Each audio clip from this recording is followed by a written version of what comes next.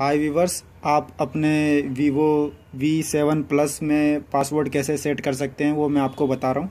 आप अपने सेटिंग में जाएँगे। सेटिंग में जाने के बाद आप नीचे डाउन में आएँगे तो यहाँ पे आपका फिंगरप्रिंट फेस एंड पासवर्ड का ऑप्शन है। आप इस पर टच करोगे तो यहाँ पे आपके ये चारों ऑप्शन है।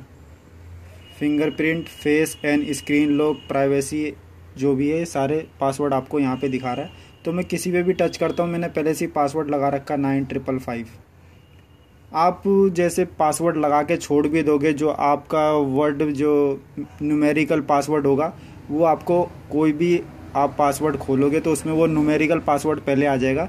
जैसे कि मैंने अभी खोला था फिंगर वाले में भी वो न्यूमेरिकल पासवर्ड माँगता है। तो यहाँ पे आप ये सारे पैटर्न लोग भी खोलोगे तो यहाँ पे आप सेट करके, अब मैं दोबारा बैग जाता हूँ, मैं दोबारा इसमें आता हूँ तो यहाँ पे फेस का ऑप्शन खोलूँगा तो मैंने न्यूमेरिकल पासवर्ड डाल रखा है तो यहाँ पे वो न्यूमेरिकल मांगेगा। फिर आप उसके बाद सेट कर सकते हो।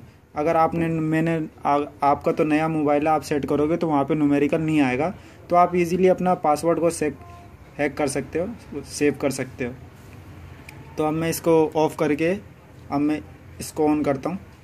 ये मैंने यहाँ पे जो आप चाहे तो अपने फिंगरप्रिंट भी लगा सकते हैं। और न्यूमेरिकल पासवर्ड फेस पासवर्ड और फिंगरप्रिंट भी लगा सकते हैं आप सारे। तो अभी मैंने न्यूमेरिकल से आपको खोल के दिखाता हूँ। ये मैंने नाइन ट्रिपल फाइव का डाला है तो ये इजीली खुल गया। अब इसमें आप फिंगर से भी खोल सकते हैं। ये फिंगर लगाया, ये खुल गया। तो वैसे ही अगर आपने फेस का लगाया तो फेस के लिए आपको बस अपने फेस इसको ऊपर करके अभी लॉक नहीं लगा। ये ऊपर करके आप अपने फेस पे अगर जूम आउट करोगे तो वो फेस से भी खुल जाएगा। तो व्यूवर्स अगर आपको ये वीडियो अच्छी लगे प्लीज़ लाइक और सब्सक्राइब करना ना भूलें। Thanks for watching viewers